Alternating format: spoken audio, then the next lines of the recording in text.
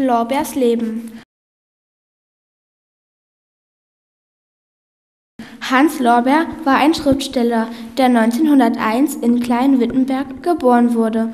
Im August 1933 kam er in das KZ Lichtenburg. Hier blieb er bis zum März 1934. Dort schrieb er unter anderem das Gedicht Dein Bild, dem er sich gedanklich seiner geliebten Frau widmete. Während seiner Haftzeit schrieb er viele weitere emotionale Gedichte, wie zum Beispiel Zuspruch.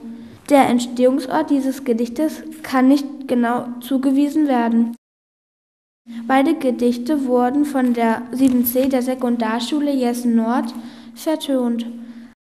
Hans Lörber starb 1973 in Wittenberg und wurde 1976 nachträglich zum Ehrenbürger von Wittenberg ernannt.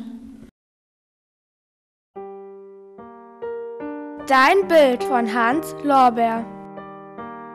Wie schwer und leicht zugleich wird mir, wenn ich dein liebes Bild betrachte. Du bist so fern und bist doch hier, und deine Hand streicht weich und sachte mir Hände, Haar und Angesicht. Ich sehe dich in weißem Kleide. Du bist so still, doch weinst du nicht. Du bist so groß, in allem Leide. So warst du auch, wenn dich mein Wort verletzte, hast nicht widersprochen. Wenn meine Stimme Zornakkord, manch stille Stunde dir zerbrochen. Genug, ich fühle jetzt wie nie, dass ich mit allen meinen Schwächen deiner Gedanken Harmonie und deinen Stolz nicht konnte brechen. Mitreißend über mich hinein brach deines Wesens sanfter Regen. Und so auch heute. Ach, wie rein vermag dein Blick, mich zu bewegen. Du bist ja Tag im Sommerland. Du leuchtest mir durch Stein und Eisen. Dein kleines Bild in meiner Hand kann auch die tiefste Nacht zerreißen.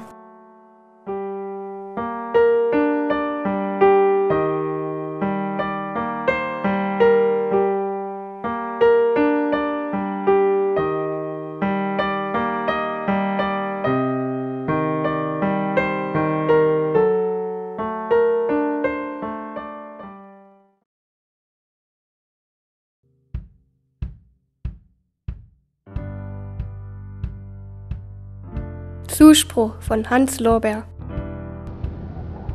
Lass den Kopf nicht sinken, bist du auch allein. Einmal werd ich wieder mit dir fröhlich sein.